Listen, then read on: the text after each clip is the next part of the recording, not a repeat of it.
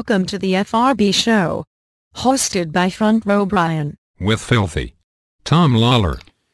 So, in this special Wednesday edition of the Filthy FRB show, we'll kick things off talking about Phil Davis signing with Bellator. It's been rumored for quite a while. You know, he's a guy in the UFC, or was in the UFC rather, and he had a pretty good record. I mean, he, you know, he beat Lyoto Machida.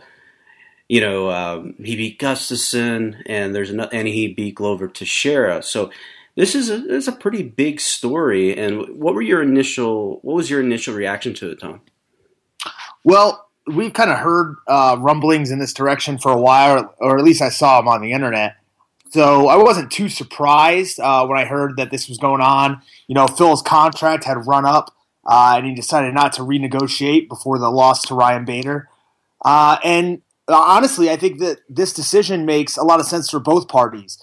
Um, a lot of a lot of fans complain to the UFC about Phil's style. Uh, there's a lot of people that don't necessarily enjoy watching him fight, and uh, you know it's only going to bolster the light heavyweight ranks in Bellator. So you know I'm sure the UFC is not going to be too upset if Phil Davis goes over there and beats Liam McGeary and takes the title. So I think it makes a, a lot of sense for both parties, and um, it'll give Phil a little bit more exposure and push as like the top guy or one of the top two or three guys in that division in Bellator, and uh, I think it'll be great for him. So how do you think they book it? What's his debut fight? Oh, I don't know. I mean, there, there's a few ways you could go with this. I mean, uh, with the way Bellator's been booking shows, you could throw him in uh, against somebody right off the bat. Uh, you know, a, a guy like King Mo would probably um, be a win-win situation for both guys because King Mo will talk a lot of trash, and Phil Davis seems, you know, kind of eager to do the same thing in a way. Uh, I'm not sure how many fans would be clamoring to see that fight because there's a lot of people bitching about King Mo uh, getting takedowns and staying on top too. So you know, it could be one of those 15 minute striking matches between two guys uh, who were accustomed to see wrestling. So either you go that route or you just you know give them a can. Yeah, I mean, I guess it comes down to who's who's fighting McGeary next. Is it going to be Tito? Uh, I don't know. I, I don't think they've announced anything, but um, you know, if we look at the Bellator tournament winners, I don't I don't know that they even have anybody waiting at 205. Yeah, I don't think so either, and I, I don't I don't know if King Mo versus Phil Davis is stylistically is a. I mean, I, I, I said it today on Twitter. I, I just don't see how much Phil Davis moves the needle. He's a guy you look at his resume and it's it's very respectable. You know, he, he's not an elite guy, but you know, for the past four or five years, he's been consistently amongst the top seven or eight guys in the world in his weight class. So uh, you can't argue against what he's done, but the the way he's done it, and I don't think he's built up much of a fan base, which which is uh, surprising to me because you know everybody I talk to about him says how funny he is, you know, just in person, and then you get him on camera, and it it, it just doesn't it doesn't come through. The charisma's just not there. Yeah. Uh, well, you know, he'll get more exposure to that kind of stuff with Bellator, I think, um, as opposed to staying with the UFC. Obviously, you know, he's ranked number seven right now in the UFC rankings. So there's six guys plus a champion ahead of him who are going to get more opportunities when it comes to the media. Uh, when you look at Bellator, I'm not, I'm not sure that that's the case. I mean, I guess you have King Mo. oh, perfect. Well, are you trying to cut me off? I, I got to get this phone out of the uh, out of my uh, office here. How the hell do you turn this volume down? I don't know, but I was in the middle of probably The most important. Uh, the most important message I've ever given to anyone. all right, I. all right, can you restart that brilliant thought? I, I got to fix that. What? What are you gonna fucking redo it? Is this sma- is this a SmackDown taping? Uh, no, no, it, it- you know nothing can happen. No, nothing goes wrong when it's live. okay. I, I don't All think right, I don't so think we've ever edited anything. Okay, good. Okay, so anyways, yeah, Phil Davis, uh, he'll just get more opportunities to be in front of the camera with Bellator. You know, they got Tito, King Mo, um, that may, you know, may take up some of that time, but you know, you really don't see Liam McGeary too much of the media. You don't see Emmanuel Newton too much of the media. So I think uh, Phil Davis will get some more opportunities with Bellator, and um, you know, maybe he pulls over some of the uh, amateur wrestling fans that he has that maybe don't necessarily watch Bellator that watch him fight. And I wonder if there's a another story to this that you know Phil Davis is a Zinkin Entertainment client, and Aaron Pico is another Zinkin guy, and there's these persisting rumors about difficulties between Zinkin Entertainment and the UFC, and I wonder if this is going to lead to a pipeline of Zinkin guys going to Bellator, which you know, Ed Ruth, the three time national champion from Penn State, signed with Zinkin. And I, I think we, you're going to see him in Bellator probably. Well, he'd probably be a middleweight. But I, I, what do you think of these like these management companies who are steering guys directly to a single promotion? I mean, that's been going on since the you know the first fights that that ever happened, Brian. Um, I'm not surprised if there's some sort of you know relation. Obviously, there's a working relationship of some sort between Zinkin and and Bellator, uh, and you could take a look back throughout you know the the ages of MMA and look at the relationship that you know some of those some of those fighters had, who I believe are Zinkin guys had with uh, Strikeforce in the past. You know. Um, yeah, and I, I, I, should correct something. It's not like they're sending everyone there. I mean, uh, Zink, like Chuck Liddell, Forrest Griffin, Josh Koscheck, all were, were, with the UFC. But I'm talking more about the the up and coming guys. You know, like uh, like Pico. You know, why why did Bellator? I, I, I mean, Bellator signed him because he's got a lot of potential, but well, why didn't they just like you know let let him sit a little bit? You know, he's not going to step in, into a cage till 2017, and uh, you know, I, I, think it's the same. It's going to be the same thing with Ed Ruth. Yeah, well, I mean, if you look at, I mean, look, Scott Coker's from the Bay Area, right? Yeah. And correct me if I'm wrong, but so's the management team, correct? Isn't yeah. Zinkin's headquarters, right? So, I mean, there's obviously ties there that you know you can't discount. So you know it could be something as simple as that. They just they enjoy each other's company and like working together. You know. Yeah, yeah, I, I, I hear you. I, I just wonder about the future. You know, um, like Rockhold or Daniel Cormier. You know, because it's easy to say right now when you got four fights left on your deal. Oh, I'm happy where I am, fighting the best guys in the world. But Viacom, you know, I, I can't say they tampered with this, but there's ways of getting messages to guys through back channels. Mm-hmm. And I, I, think the the type of money that they're talking is going to be incredibly attractive. I mean, UFC didn't even. I don't even think they considered matching this deal. I, I gotta. I don't know how much it is, but I, I would think it's about a hundred thousand or more per fight which I mean, uh, for a guy number seven or number eight in the world who really doesn't have much of a fan base, that's that's a pretty considerable investment. Yeah, not only that, but you also have to take into account the money that you know Phil Davis might be losing in the future uh, from sponsors by simply staying with the UFC. You know, he could lose. I don't know what kind of money he has coming in from um, apparel sponsors or maybe you know other other companies that are, are going to be forced out of the UFC when the Reebok deal begins. But it could be enough that you know it, it made it more attractive to go with Bellator, and you could keep a hold of some of those sponsors. Um, you know, it makes some more money off them that way. You know, that's that's a really good point, Tom. Because I I thought I had somebody tweet me today and say that he Phil Davis just signed a deal with Affliction, and it, it really didn't make much sense to sign a deal with Affliction when the Reebok uniform is coming in July. Yeah, I mean, 100%. Who knows? Uh, Affliction's still a big company, so I'm sure he's getting uh, a decent chunk of change from them, and it, it could be enough to offset, you know, whatever uh, the extra visibility he would have in the UFC, or um, you know, whatever whatever their marketing machine could come up uh, come up with for him. You know, simply by holding on to the sponsors that he has, or or getting new ones um, that he wouldn't have a chance to if he stuck with the UFC. So I think it's going to be beneficial for him. Uh, I think he'll be at the top of Bellator for a while, and I think they'll give him the immediate push when he comes.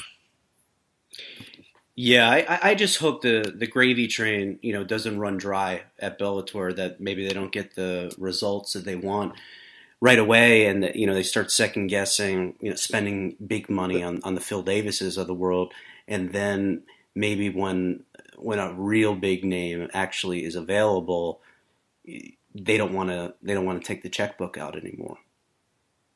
I mean, there, there's big names that they're signing. I, I mean, we could talk about fighting ability all day, but Ken Shamrock's a pretty big name.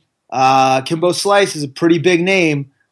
You know, so I mean, they're not afraid to throw money at, at these big name guys. It seems like they have a strategy of, you know, loading up the top of the card with, uh, you know, maybe a freak show style fight for their big show that everybody, you know, wants to see. It'll bring in the the casual viewers or the people who are, you know, curious about it, and then putting some real legitimate fighters on the undercard. Um, you know, I, I wouldn't be surprised to see that strategy continue on, and you know, to help Bellator grow. Really. Yeah, it's a, it's an exciting time for the guys that are that are free agents because it, has been a while since they've actually had some leverage. You know, Japan dried up. Um, you know, World Series of Fighting is on death's door. Um, you know, Titan doesn't pay very well. Who, who? I mean, who else is out? Oh, well, you got ONE FC, but they seem to be very inconsistent with with the way they'll splurge. You know, like they'll they'll pay Askren a, a bunch of money and then yeah. they don't. Then they have like a bunch of guys you've never heard of. Yeah, yeah. Or they, I know that they throw uh, a lot of money at Bibiano Fernandes, right. you know, and that's why he stayed uh, fighting over in uh, in Asia, you know, as opposed to being in the UFC. So, um, yeah, I don't, I don't really. it's just a different business over there, you know. There, there's certain things that drive the business over here, like pay per view, that aren't uh, ingrained in the culture there, and and um, it's a very tough area to predict. Uh, I think as far as what's going to catch on and what's not. You know, could you have imagined that Sapp Time was going to catch on like it did back in the day? Uh, you know, even after he started losing fights, he was still a huge name. So you know, you never know in comparison to what is looked at as successful here, what's going to be successful there. Sure, and you mentioned Bob Sapp, and uh, you know we've been discussing off air about doing some some retrospectives on on past MMA events, and it would be interesting to go back and look at Bob Sapp's position about you know what eleven or twelve years ago, and yeah. I think people who might be somewhat new to the sport would be shocked. I mean, I don't know the exact rating off off the top of my head, but I think it was something like it was in the 40 uh, rating. I mean, as far as I forget what fight it was. I know Meltzer has. Uh, it would be the fight against Akebono. Uh, I believe it headlined one of the New Year's Eve cards uh, in Japan back in. Uh, my guess is like 2003. I don't know. Let me look this up. Yeah, uh, you, 54. Yeah, hey, 54 million viewers in 2003. Boom! Eat so, it, Melton. so, what, what, was the rating though? Was it like forty or forty-two uh, or? No, I'll try to find that. You know, I often while you're you're finding it, I'll, I'll tell people 40, about the TV. Forty-three point one rating on TBS. Uh, not sure what time the show started, but there's no way in hell it started at six oh five. Sure. So I mean, uh, for the pe- for the people that might not understand these these ratings thing, and I didn't for the longest time the rating, you know, like a 40 rating, that means 40% of all the televisions in that country tuned in to watch the program.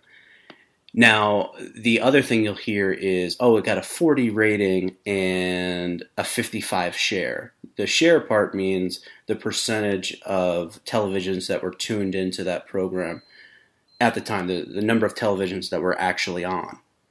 Mm-hmm. And so yes. you'll, you'll see that terminology a lot, you know, with the UFC ratings and, and such. So uh, okay, just to clarify on this, okay, the Sapp Akebono fight, which uh, Sapp ended up crushing him with pure, beautiful technique and skill. Um, that that got a forty-two point five rating, and it had fifty-four million viewers. Okay, that was two thousand three.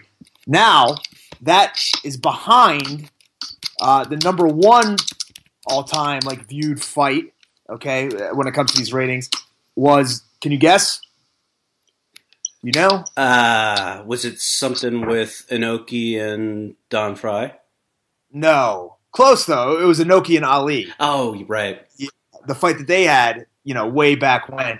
Which is another thing that we talked about is covering some of these random fights throughout history that, you know, people may not know that uh, Antonio Inoki and Muhammad Ali had a, a mixed rules fight uh, way back when. So, you know, that's something we can talk about in the future, uh, catch people up with. And, uh, And what's so interesting about that 54 million viewers, I just Googled Japan population 2000, you know, just uh, because they probably, they don't do a census every year. So it was 127 million in 2000. So 54 million out of, I don't know, let's just call it 130 million a couple years later. 54 million out of 130 million people in the country watched that fight. That's that's staggering. yeah, it's crazy. It, really is. Uh, to think and think about how far they've fallen in terms of MMA nowadays. Uh, you know, they just don't even have the market for it at this point. And you know, 12 years ago, you had uh, half the country watching it on New Year's Eve. So it's a big time stark contrast. Yeah, it, it, it's terrible. I mean, it's it, you know, Japanese MMA. You know, I the rules and you know the no drug testing and, and the worked fights. I, I wasn't really a fan of, but it was just the debate over you know who had the better fighters. I mean, that was that was all that was talked about on the message boards eight, nine, ten years ago.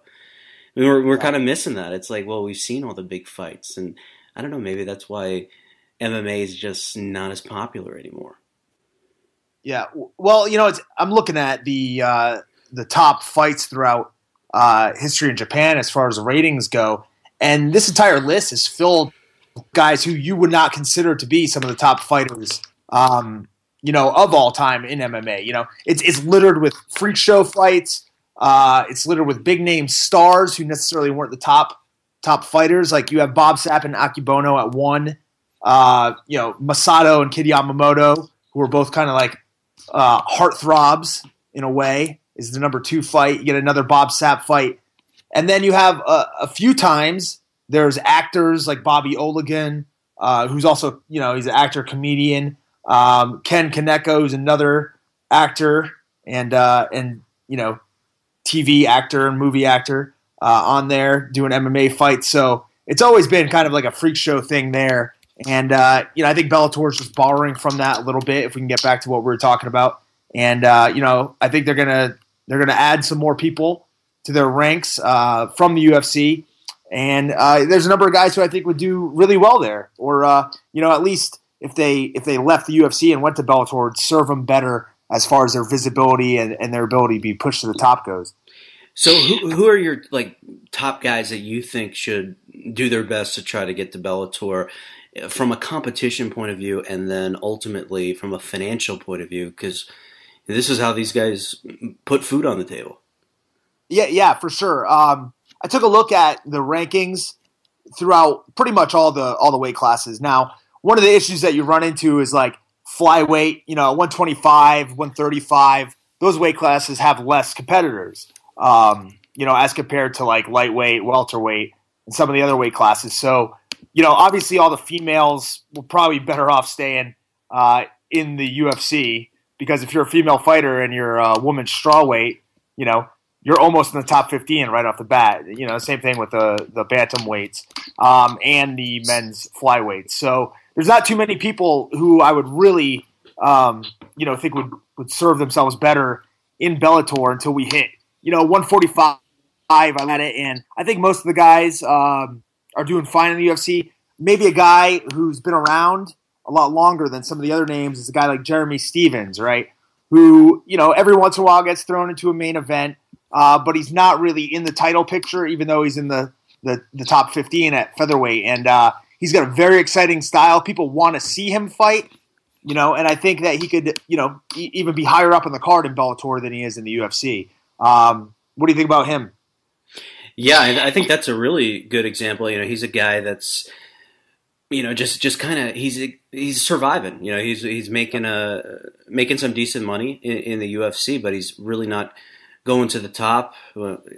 Guys are just better than him. I, I yeah, and he's got a, a pretty friendly, uh, fan friendly style. You know, he's going to throw some hands, but obviously he can handle himself on the ground too. Yeah, yeah. And another guy, uh, you know, and kind of like a similar similar idea is uh, Josh Thompson. You know, obviously we were talking about the Zinkin uh, connection before, and if I'm not mistaken, I believe he's a Zinkin guy.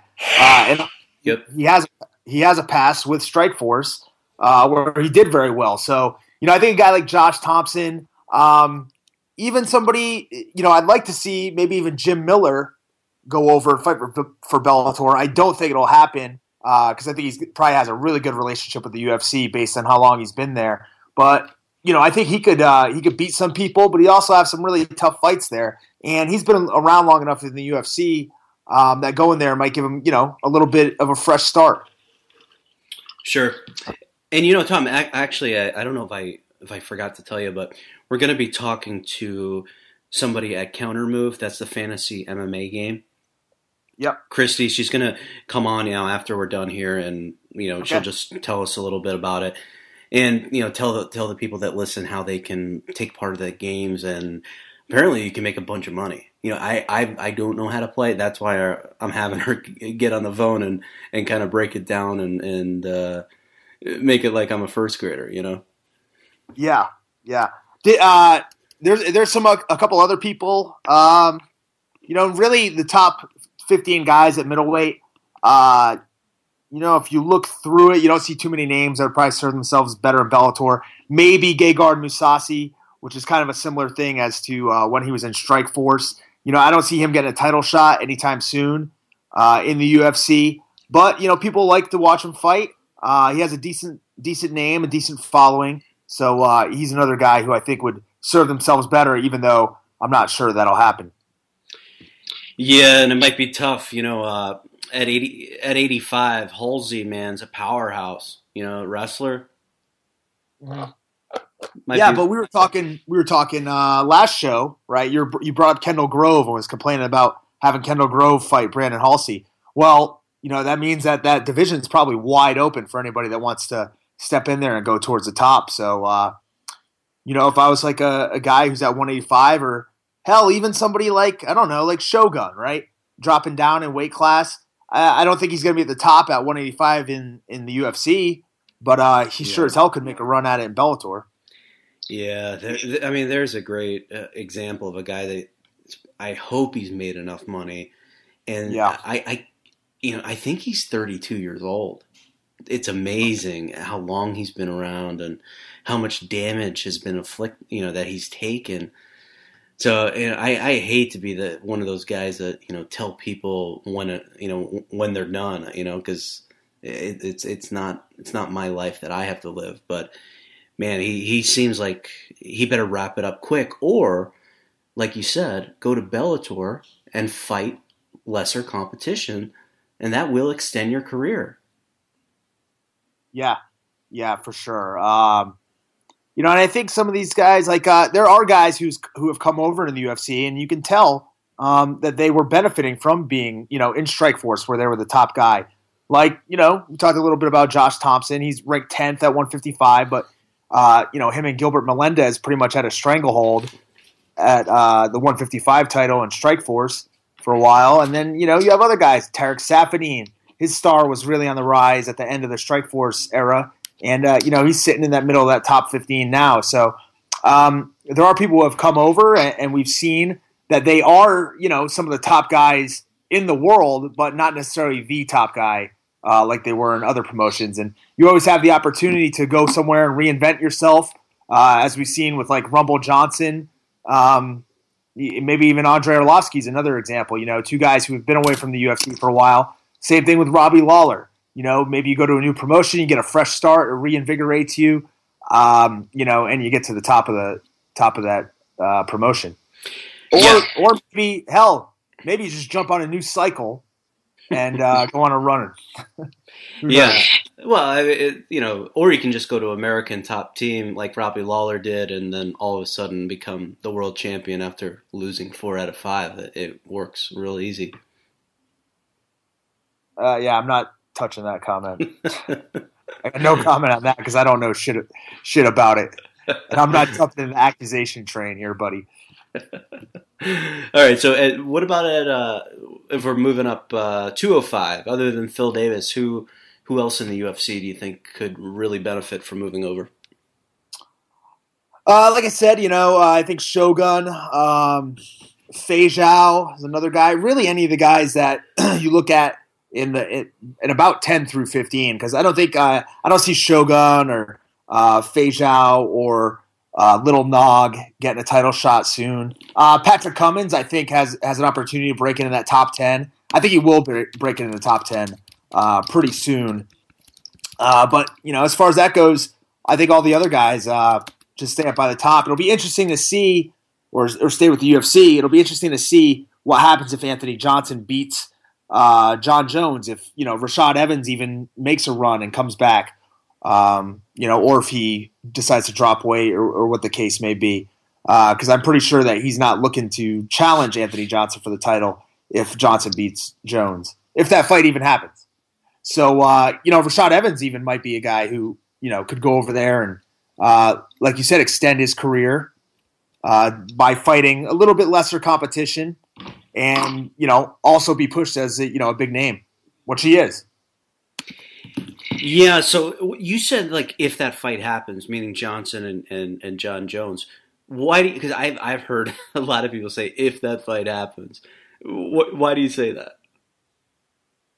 Oh, I'm saying it for the same reasons that those people are saying. I'm, I'm listening to them. I don't have any inside information. Believe me. I got you. So you don't know why they're saying that. You're just kind of go uh, listening to well, them because they sound like they're informed. Yeah. Well, to be honest, I mean, anytime that people start talking about canceling fights now, uh, unless you've got like a bone sticking out of your skin, you know, a lot of people are just going to assume that it's due to PED usage, right? You have these people have to cycle on, they have to cycle off with the new testing rules, things might get screwed up. Who knows? Um, and I think that's the speculation that a lot of people have uh, in regards to this fight, whether it's Jon Jones or Anthony Johnson. I don't know exactly what people are are imagining these guys are on that's going to hinder the fight, but um, you know that seems to be the prevailing sentiment is that anybody thinks the fight's not going to happen, it's because somebody's going to you know test positive for something. Yeah, and uh, Yoel Romero did himself no favors pulling out of a fight like ten days, you know, uh, before this Saturday night card. I, am just like, what, what was the injury they claim?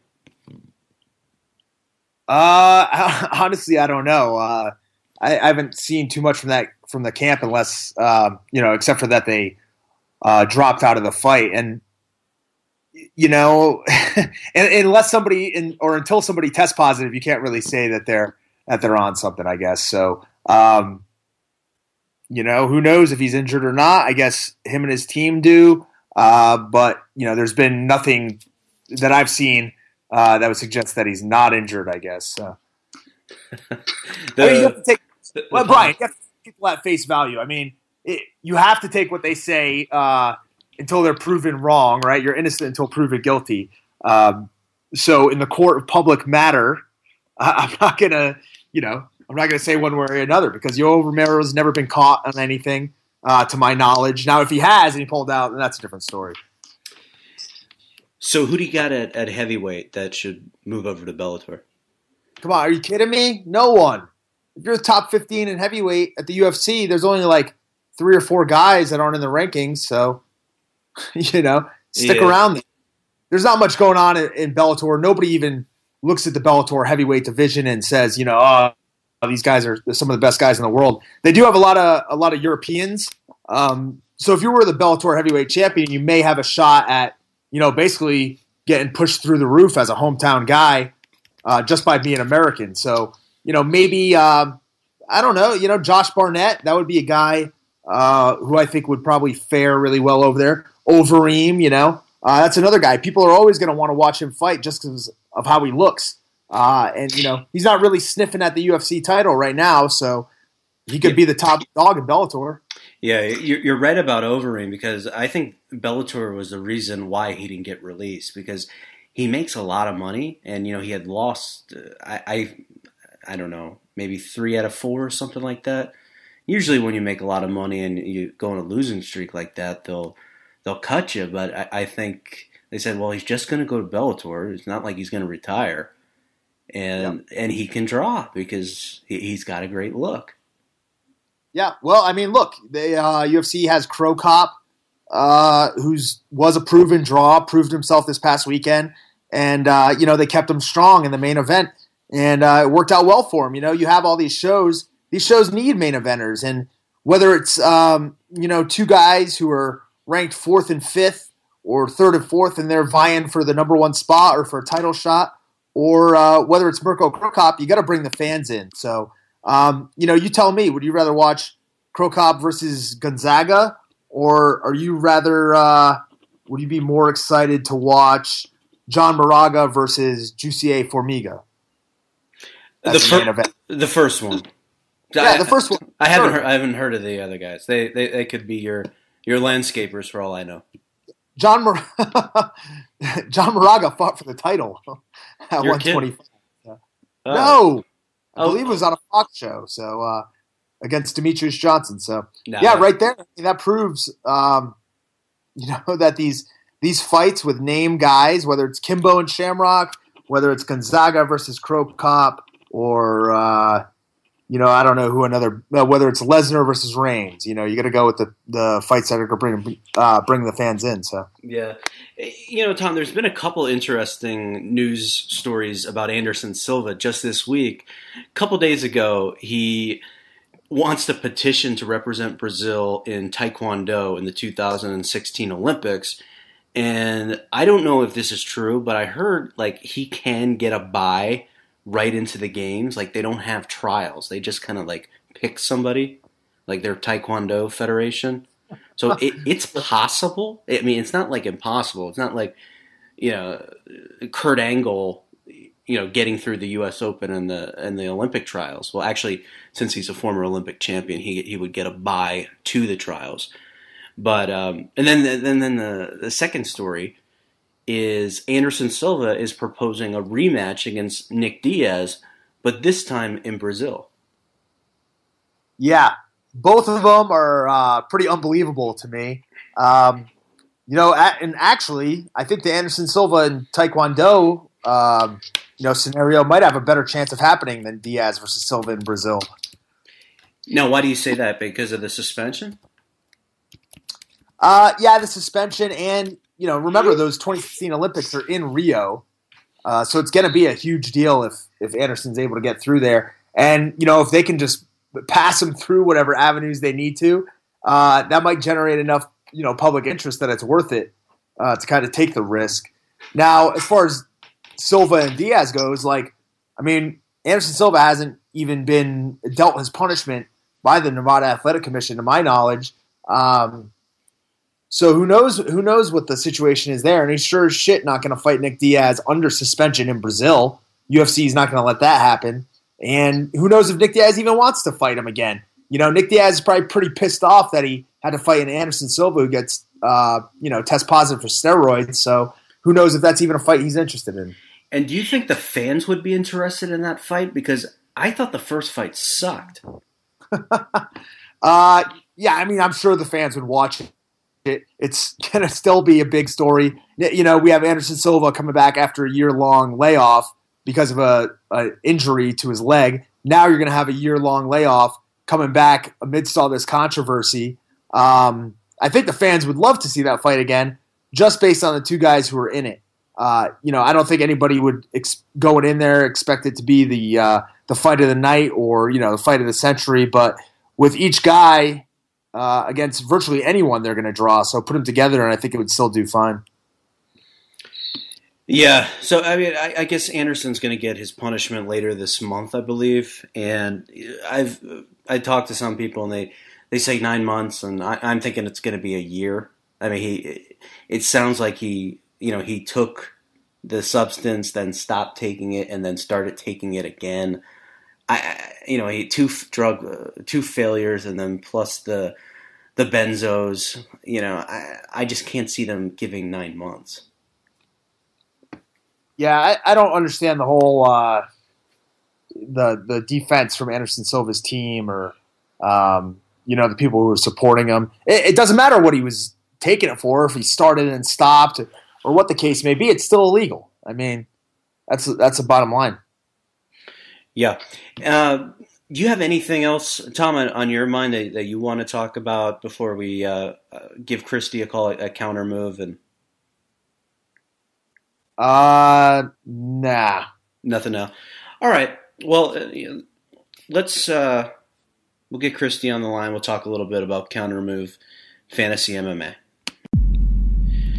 And Tom, we're joined now by Christy Sullivan. She is from KounterMove, which is a fantasy MMA website. And for full disclosure, I really don't know anything about fantasy MMA or even fantasy sports. I mean, my, I usually just kind of, you know, deposit my money illegally in some offshore account and and you know bet minus 150 or under over.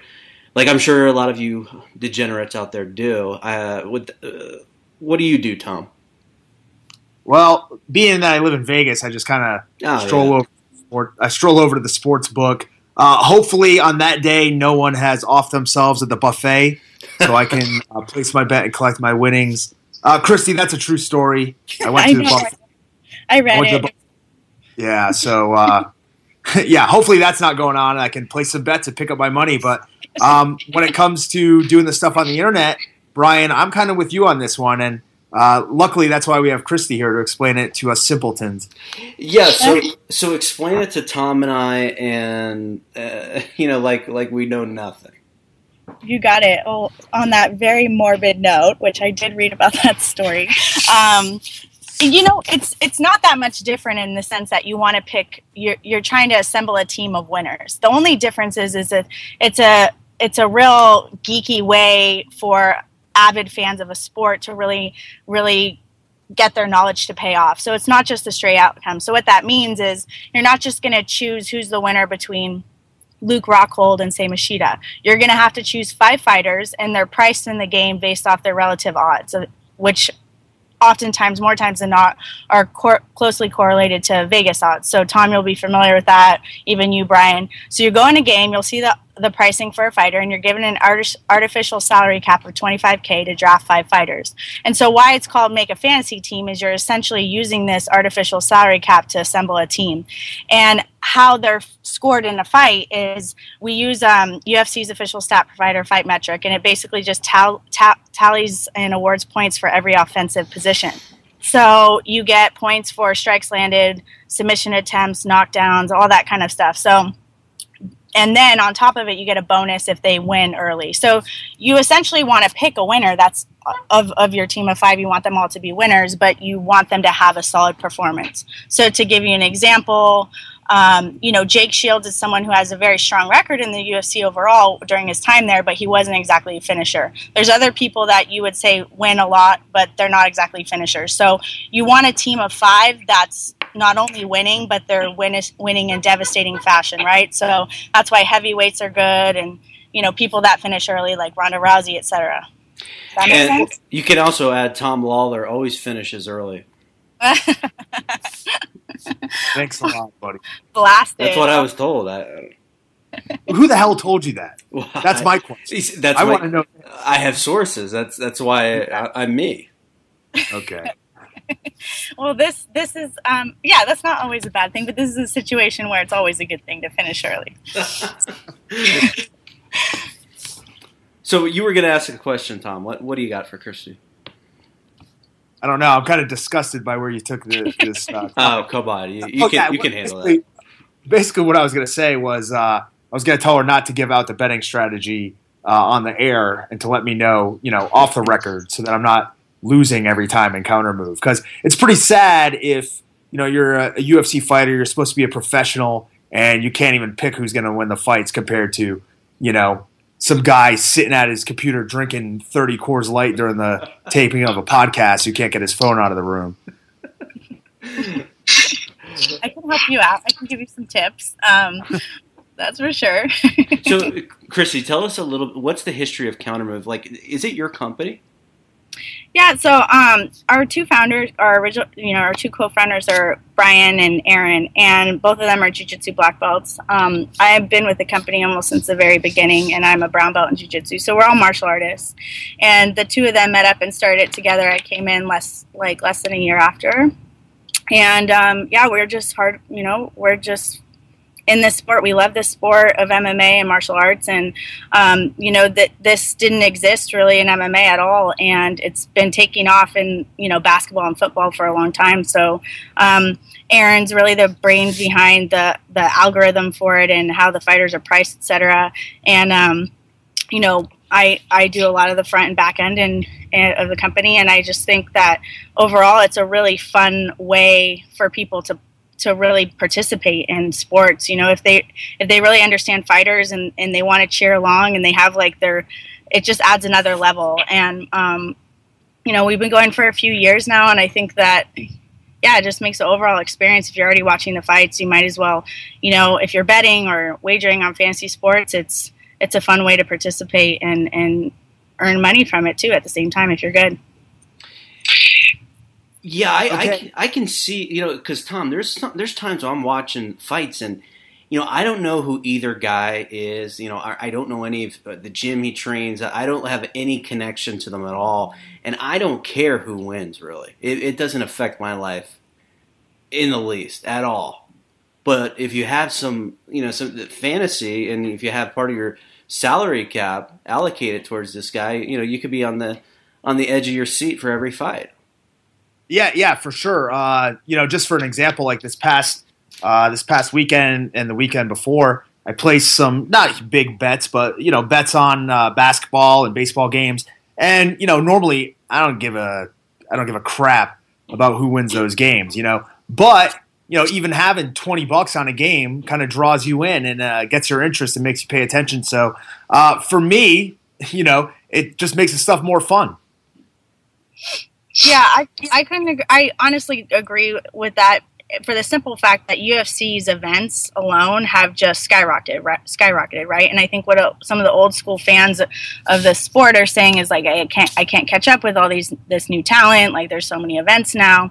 So, like, we're already all MMA fans. We're probably going to be watching even the smaller events. Um, if not, like people are still you know wanting to stay engaged and, and, it's a fun way to actually like learn about them. So this undercard this undercard fighter that no one's ever heard of like it, it, it makes it fun because there's a game around it. And then at least like when that guy fights again you're like oh i remember him. He was on my fantasy team. He knocked out that guy. Like it just makes you know it a, a more fun way to stay engaged in the sport and then have it pay off um, overall. Are you on a motorcycle or is that tom's I'm motorcycle? not. I am near. I think I hear. Yeah, there's actually a GT Mustang that's parking uh-huh. near. uh, don't worry about it. it. It's better than, than my phone ringing. But uh, Tom, what what were you uh, gonna say there?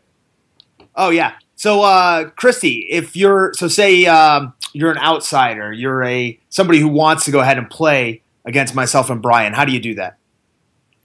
Um. Well, it just depends. you guys are going to have a free roll game, so um, I would say the best way for people to try it if they haven't done it before is um, hit up your free roll link. That's the best way. Free roll is basically a you know gambling term, but it means a free entry game that has a cash prize pool. So um, that'd probably be the best way. And then if you you know want to get all the way in it, you can go on the website and there's like prize pools anywhere from 10 to 25 grand. So if you want to try free roll, that's like free to enter. It's super easy to play, and there's no, you know, we put up the cash prize pool. Or if they, if you're feeling uh, risky, you just go in and go go all the way in and try for the the prize pools that have like a lot more at stake.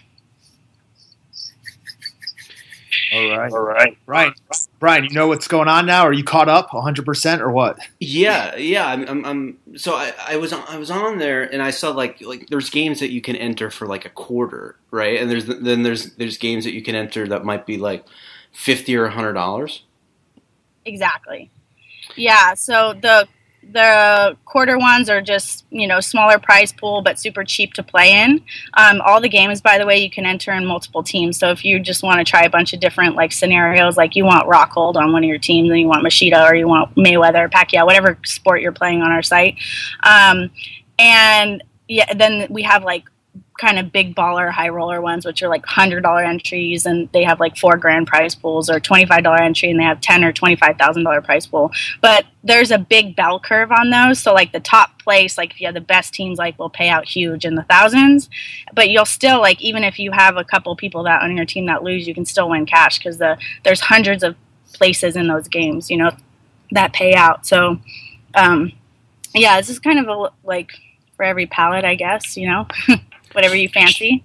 Sure. So, like, what percentage of like of players like get a part of the prize pool? Like, is it a certain percentage of each pool, or how how do you determine it? Yeah, it depends on the game, actually. Um, it really depends on the game. So we have ones where like we structure them where um, there's less people who participate and then more people that pay out, right? So um, you can like double up your money, etc. So it just really depends on the, the, the, amount of entries it's set at. So you, so you can look for that. Um, some of them have hundreds, whereas like some of them, like the high roller ones, are a lot smaller, but they're bigger to play. Um, they're a larger entry. So it just really depends. So you think you got it, Tom? Yeah, I'm actually. Uh I'm looking at it right now, and I'm picking out a team to beat Natasha Wicks uh, this weekend. So, uh, yeah, actually, it's pretty easy once you get it figured out. Uh, you know, like Christy was saying, I went on the website. Uh, it shows the salary cap you have for each game, and it's it's really easy. You just click on the uh, the plus sign to add somebody to your team, and you can go from there. It's really user friendly. Um, you know, and that's KounterMove with a K for anybody that doesn't know how to spell correctly. It's K O U N T E R move.com. Uh, yeah, Brian, it's real easy. It's awesome. All right, I'm, I'm going to get on there. And what, are, what what's the plan, Christy? When are we going to, like, what's the first event Tom and I are going to be telling people to sign up and play it? That's up to you. I mean, uh, we can I'm thinking Mayweather Pacquiao if you want. We have games around that. Um, it's really up to you. We can, you know, the Canada card for 186 is getting a little softer, um, but that one is I'm down for too. Um, or 187, you know. So just let me know. I know you guys like wrestling too, so I think May- Mayweather Pacquiao is could be fun. What do you guys think? Well, you well, do well, wrestling too. Uh, yeah, we do. We did a huge one. But since I'm I don't upset anyone about saying things about it's you know scripted or whatever. But no, so we just no. do we do, we do um, free roll games only. So we we don't do it so people can actually um, put play, put up an entry fee like no no money wagered. We just put free rolls up, so it's more for fun. Um, and we just offer it. It's kind of fun, and we ta- we tally it for like chair, you know, just how many times you get hit by a chair and it's really fun. It's really funny. Um, but yeah, we do have them, so I can cool. show you those too sometime. Nice. So all right. So I'll uh, I'll talk with Tom and we'll uh, we'll get with my uh, my guy Adam Adam uh, yep. Martin from Poster Boy Entertainment. He was the one who kind of well, not kind of he, he he connected us um, with KounterMove. So uh, thanks, Adam, for finally doing something right. And I knew there was a reason I, I kept you around after I fired you from the podcast, but I, I that's actually a true story. and then I, I, I, needed to that I found Tom. That that's how that came about. No way. Oh shit. yeah, yeah. But oh, uh, yeah. All right. So uh, yeah, that that sounds interesting, and I'm I'm looking forward to it. And uh, so, thanks for explaining that to us. And I'll, Tom, no I'll, yeah, Tommy, you can have the uh, the last word or anything you want to say. No, uh, thanks to Christy, thanks to Michelle, and uh, thanks to me for coming on the show. All right, thanks, Christy. Appreciate it. The only question that remains is will the number 13 be lucky or unlucky for Stone Cold Steve Austin tonight, the submission match? You can damn well bet it's going to be an unlucky number for Bret Hart. But let me just say this a submission match is not my kind of match. Do I know a whole lot of wrestling holds? Hell no, I don't. But I'll beat the hell out of you till you do say I quit. You sit there every time you get on TV and say you've been screwed. Let me just tell you this, son. I ain't bringing a condom to the ring. I'm bringing a hell of a can of whoop ass. But we're joined, of course, uh, as always, by Filthy Tom Lawlor, and then today Invicta Fly, flyweight Michelle Ould. What's going on, Michelle? Not much, just sitting in traffic. I totally forgot about tax day too. I got that shit done months ago. what about you? I mean, I gotta assume for fighters, you know, being independent contractors, it's kind of it's a lot different than someone who's W two'd. Yeah, it is. You know, you get it's a lot of different stuff, but I do my own anyways because I'm smart like that. So it all worked out. How do you handle yours, Tom? Do you have somebody? What's that? How, how, uh, Tom, uh, how do you handle uh, your taxes? Do you do them yourself, or you have somebody help you with it? Oh no, I do it myself. No, no, I was asking Tom. I, I... What's that? Uh, yeah, I I uh, I haven't done them yet. So okay, well, okay. So, so after, after this, you're going to have to get to work. Although you can file a, an extension, and I don't think there's any penalties for an extension. uh, now I'm just gonna hit up TurboTax. Like tonight? Yep, as soon as this phone call's over. That's what's up. So, Michelle, you have quite a story. You know, you know, maybe you're not the most well-known fighter, but you seem to have uh, one of the more interesting backgrounds that, that I've heard about. So, tell us how did how did you get into fighting, and like what led you to get in, get into this, or, or even your childhood? Um, well, I don't know. I've always just kind of been like one of those girls that anything a boy could do, I could do too. I've just always been kind of competitive, and I always wanted to do sports.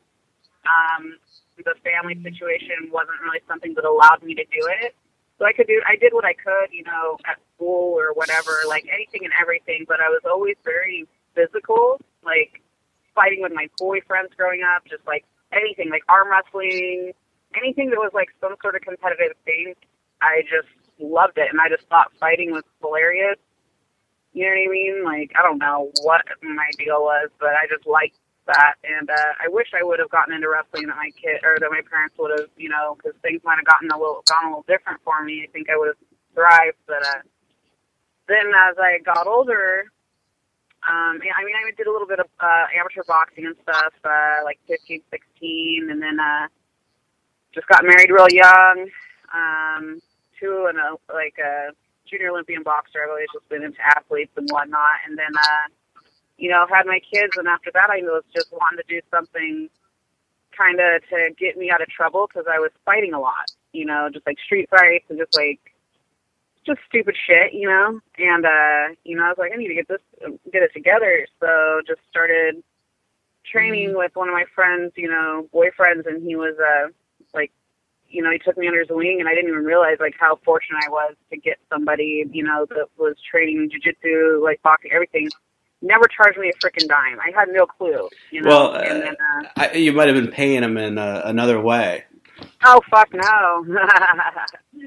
yeah, it, it surprisingly enough, I'm not really. uh You know, there's certain things like that I met through a friend. Like that was my best friend. He Oh. never was ever inappropriate. Like I can be crazy with some things, but there's other things that uh you know what I mean. Like Oh, I thought you, I thought you said it was your boyfriend. That that's what. no, like oh. my friend's boyfriend. Oh, I, I totally Yeah. totally misunderstood. So I got pretty lucky on that one, and then I started uh, wanting to just do a little bit more like wrestling and stuff like that, just the full thing. So I started over at uh, Combat Fitness in Boise, 'cause that's where I used to live, and uh, uh, Scott Jorgensen's gym, and uh, you know, just went from there. And you know what I mean? It, it, even if I took time off or whatever from actual fighting, I was always training, and it just was a really good release for me, and it kept me out of trouble. You know, it Yeah. really, it really did. It changed my life. So Yeah, saved so, my life. so you mentioned staying out of trouble. Like, what type of trouble were you getting into? I was just always like, I don't know. I was just always, whenever we would go out, you know, friends or whatever, um, if anybody ever challenged me or anything like that, like, I just loved to fight. I would just get in street fights all day long. If people or my friends were in fights, I'm jumping in. I never knew how to walk away. So that's the kind of, you know, just little minor things like, you know, just like the one time I knocked a guy out, he deserved it, but the cops only saw me knock him out and they arrested me. It was absolutely ridiculous. And, you know, stuff like that just kind of got old. I'm just like, okay, you know, and then MMA was kind of starting to be a little bit more popular, and I'm like, this is what I need. And it's like ever since then, like I didn't have any issues. You know, they're like, you you come in here, you fight for money, and I'm like the person that's always walking away now. You know, I do have still a little bit of a temper thing, but I don't really go out much or drink or anything because I know that, and uh, so you know, it just kind of just changed, you know, your mindset and stuff. So and it really helped out a lot. Yeah, you know, Tom. I mean, even if a if a woman is a is a pro fighter, that's got to be tough on the confidence to get knocked out by one, wouldn't you think? I wasn't even uh, training at that time. I trained after that, but just this guy was. They were all like being surrounding me and a girl. There's like seven of them, and they just were like, "We're going home. You know, we're gonna go catch a cab, get some food. We're good." And they're like, "Well, you're ugly bitches anyways." And they kept following us, kept following us, and all of a sudden, I felt some guy grab my ass, and I just turned around and threw a right hand, and he was in a planter in like a big old, you know, cement planter pot pot thing, and I didn't know he was knocked out, and I just kept hitting because I just was freaked out. And then they were like, "Yeah, we had to get the smelling salts. He was knocked out cold, yada yada." And I'm like, "So you guys saw that? Well, we the cops were like, we could hear you hitting him from across the street." And I'm like, "Do you not think that there was a reason? Did you not see there was two girls and like a ton of guys? And you know what I mean? It was just kind of messed up." And so after that, I'm like, "I got to do something different." So this this guy got knocked out just because he grabbed your ass. Yeah. I I mean, just turned around and hit him, and like it was, yeah. And then they ended up, you know, I had to do like a bond forfeiture or something like that. They took it off my record or whatever, but uh he was like willing to fly back in because he was from out of town just to testify against me. And I'm like, you fuck, what a punk bitch, dude! Like, who does that? Like, isn't it embarrassing enough? Like, who would want to go and actually testify? I'd be like, you know, just pretend that it didn't happen if I was that guy. But whatever. yeah, yeah, that would that would make sense to me to do that. Yeah, it was gnarly. So, have you actually served time in jail? Um, well, just they bonded me out that night. So no, when I was younger, I was always like on probation and stuff like that for fighting, and you know what I mean. I, guess I always got lucky because uh, you know my mom always kind of saved me, like running away and stuff. A couple times they put me like in like these uh, uh, you know, juvie type situations, Yeah. and I'm like, um, I'm running away because my parents are crackheads. So uh, why don't you lock those motherfuckers up? Like, why am I here right now? You know, So both weird. both of your parents were crackheads. they were. My mom is clean and sober now. She got rid of that guy. Um, she has, I would say, like 15 years sobriety, and then met- met her current husband, who I consider my father, um, in AA and whatnot. And uh, you know, he's got like 25 years sobriety or whatever. So Well, yeah, you know, uh, we were like homeless when I was like a freshman and everything else, living in a women's shelter and all that. It, it, you know, it was rough, but it was good seeing her get her shit together. That's for sure. So you mentioned that you don't drink anymore, or or you drink very little. Very little. Um, like I've been kind of having a rough couple of weeks, so you know, I, but I just can't. I can't recover any from it anymore. You know what I mean? Like Well, you're I'll not have like some you're not that old. here there, but I just can't recover from alcohol, and it's just not fun all the time unless it's in like a controlled setting. Like I'm not a club like goer. Like I'm a little, a lot different than what people might uh, think. Yeah, that's it. because I got it out of my system at a very early age. Yeah, so you think if if because you had your you had your kids kind of young, right? It, Yeah. And if if you didn't, you probably would have gotten into wrestling, or you would have liked to gotten. I mean, were there collegiate programs? I mean, at that point. Um, you know, and it wasn't even something that was on my radar, to be honest. I'm sure that it was. And, and I remember in high school, like, all my guy friends were always saying, Michelle, you need to wrestle, you need to wrestle.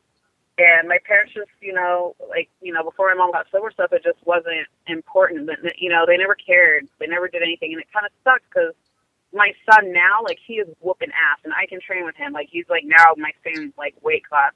He's like, Mom, you, you'd be so good because, like, I'll still hold my own with him, but he's getting better and better and stronger. He's like, I wish you would have wrestled. That would have been so cool. You're just so like you're you're natural at this stuff. And I'm like, yeah, but then if that would have happened, I wouldn't have had you. So everything happens for a reason. And now look at you. You're you're living it up and you're doing everything I never got to do. So it's all good, man. I have no no regrets on that at front, you know.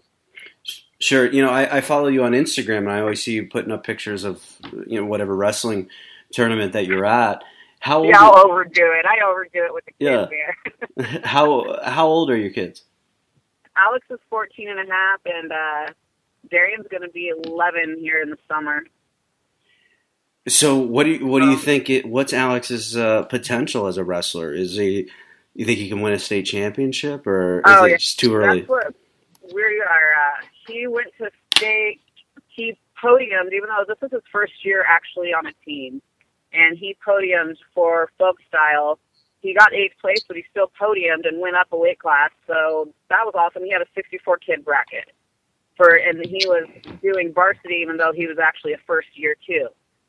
So you have kids that have been doing it since they're five years old, and he's going up against them. You like it was it was awesome. So then he did his first uh, freestyle Greco tournament this last weekend, and he was against all high schoolers, and he's in eighth grade, and he had only trained it for an actual week. You know, because folk style just finished, and uh, he took gold in uh, Greco and freestyle, and it was a pretty big bracket too. And he went up a weight class to 127. He walks around about 123. Wow. So, uh, yeah. like the his coaches, people they're just obsessed with him. Like his work ethic, like that kid just makes me so proud. Like, yeah, and he's a way better kid than I was. I'll tell you that. he's he's not getting in fights at school. He's not causing No. problems or. Oh anything. hell no. Very respectful, good grades, good with kids. Like I had good grades and smart, but I was a little. I didn't have a lot of respect for authority. Mm. So and that kid though, he's just my. I don't even know. I don't know how I got so lucky, but it's pretty awesome to watch. Yeah, authority is often overrated. I, I always tried to tried my best. I never really got in much trouble, but I, I'd always you know try to rally against it uh, when I could. Yeah. You know? Yeah.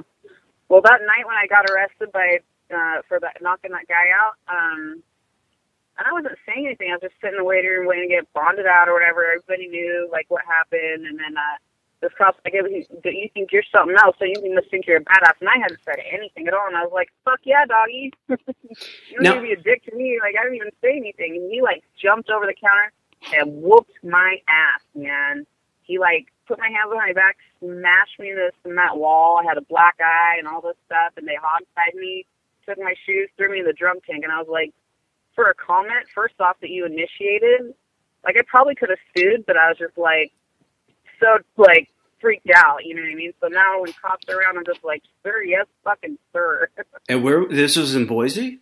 yeah, there was there's some shadiness that went on in the police department in Boise back in the day. So So uh, your your Twitter account it's it's pretty colorful. So you, you never really know what, what's going to be on it, or or the Instagram. You know, by the same token, do you let your kids read your Twitter, or, or do you block them from from it? Mm, my my youngest son's not on there, but my oldest son, I don't really censor him, to be honest. And uh, and, he, and look, he's a very good child. I do not ever want to censor my children because you know, and he doesn't really read. He's not on social media that much. He's too busy. Like my oldest son, if he's not training wrestling, doing homework, he's watching wrestling videos. It's his whole entire life right now. So he, you know, and, and I do not believe in censorship because I would rather them learn things from me and not their dumbass friends. You know what I mean? And Ye- it's worked out well. That kid has like all his teachers love him. Every time, every teacher always says he's a joy to have in class. He's so respectful. He's this, he's that. He's a brilliant sense of humor. He gets it, you know. Um, So are, and they're going to find out eventually, anyways. It's not like I can sit there and hide who I am. I am who I am, and I'm like that consistently. We don't cuss a lot in the house or anything like that, but um, you But- know, you make up for it on Twitter though. Oh fuck yeah. Oh fuck So yeah. so are the people at school surprised that, that you're his mom? Because you're kind of, you're kind of young to to have like a, a high school kid. Yeah, and I just get better and better looking, you know. Yeah. So we had like a bring a parent to school the other day, and some of his friends were like hitting on me because they thought I was his sister, and I was just like, "Hey, Uh. motherfuckers, what, what are you doing?" And he was like, "Knock it off," you know. Well, he, yeah, I can just he's gonna get He's gonna get tortured. He's gonna get tortured I by his friends. Like I had a we had a, a guy like that at our high school, and you know his mom was hot, and I mean, he he just got absolutely tortured. I mean, it wasn't like in a malicious way, but you could tell he was just like it would get him so upset. It, Yeah. was, it was just like, hey man, it's just one of those things you're just gonna have to come to grips with. Yeah, well, then they know I'm a fighter too, so they're super, you know, they're respectful and stuff. But they didn't know that that was me when I first came in and whatever. But I remember before my mom got sober, well, around the time she was getting sober and healthier and everything else, she was a good-looking lady, and I just remember all my guy friends always wanting to come over to hang out because you're going so hot. I was like, shut the fuck up. So I, I know already what this kid's going through. So yeah, it'll be interesting. Yeah. So uh, the other thing uh, that I I'm, I'm always hearing a lot with you is your problem with Miesha Tate and and Bryan Caraway. You know, it's pretty it's pretty well documented. You know, all the all the Well, issues who, you've how, had. people, how many people though? Like I'm on, I'm, I'm, I'm on a list. I got to take a number because like there's a lot of people that have problems with stuff. There's there's that many, huh? So I, I guess it's pretty well documented, like all the the verbal spats you've had. But, but what started it? Were, were you friends at first, and then it turned took a bad turn, or Well, I used to date Tonya Evinger, and that's how it all came about. I didn't know Miesha from nobody. You know, she'd always been cool to me. I had no problem with her whatsoever. But Tonya hated her for whatever reason. I'm just like, you know, keep me out of it. I don't really give a shit. She's never done nothing to me, whatever. But Tonya, I think she was just kind of a hater at the time because, you know, she, she she's a she's a legitimate athlete, just regardless of you know things that have gone on between us um, you know, and she went through a like a two year period where people didn't want to work with her. You know, she wasn't getting on cards, and she's just seeing Miesha blow up. I think it was a little bit like she's a little bitter about it because she was trying to fight her for so long, and Miesha kept kind of dodging her and stuff. But Tonya would just put her on blast and disrespect her, and go on these like female forums and go under my name because they booted Tonya out. and she say she would say, "This is Tonya," you know, and Miesha even came to me like you know, I think on Facebook, who fucking know, it could have been uh, what you call it, uh, MySpace. This is how long ago it was. And she's like, I don't understand why Tonya hates me and everything else. And I go, you know, I explained it to her, and I was like, this is why, and yada yada yada. But you know, when it comes down to it, uh, she's my you know main training partner, and you know, at the time we were dating, so that's who I'm going to back up. You know, but to be honest with you, I go, I really don't give a shit. I really don't give a shit. so? But uh, so you dated Tonya Evinger. yeah, that's not something I'm fucking proud of, but it just. It wasn't So even something I really chose to do. It just kind of happened, and then she's just she's one of those people that it's like you don't leave her because she will make your life hell. She tried to like ruin my life. It was really but that's crazy. But you're you're you wouldn't you're not a lesbian though. Is that is that No, I'm bi. I would say I just like who I like, you know. so? It just it depends. had a cool personality and everything else, and then you know, at first it was just roommates and stuff like that. Because when Jorgensen and I uh, split up, I used to date Scotty. Um, but you know, he was just really insecure and, and kind of said, "You can't train in my gym anymore," type of thing. And I'm like, "Are you fucking kidding me?" So I moved to Sac. You know, because it was a very similar setup. Because you know, him, Uriah, and all them were friends and cool, and they cross trained. So it was a good transition for me. And I was just like, well, if I can't train here, there's no other good gyms. I'm moving out to Cali, man. Gonna fucking chase my dreams. And then uh, we were roommates or whatever at first, and then she it just kind of like happened, and then it was just. I, I figured it out real quick. I'm like, dude, you're just so much drama. It was just so much drama all the time, whether it was me or whoever, and I just couldn't deal with it. And I finally just had to like, you know, get rid of her or whatever. And I wish we could have stayed friends, you know, but uh, she's just not that kind of person Yeah, you know, but I, I, she's doing good now, and I'm happy for her. I want nothing but the best for her. But uh, yeah, that just you know, I'm sure she's grown and changed a lot. But uh, this wasn't good, a Is- healthy like thing for me to be around. You know, is isn't there a picture of her doing something to Ronda Rousey? Or is that somebody no, else? Gina, Gina Carano. Gina Carano. That's the that's the one.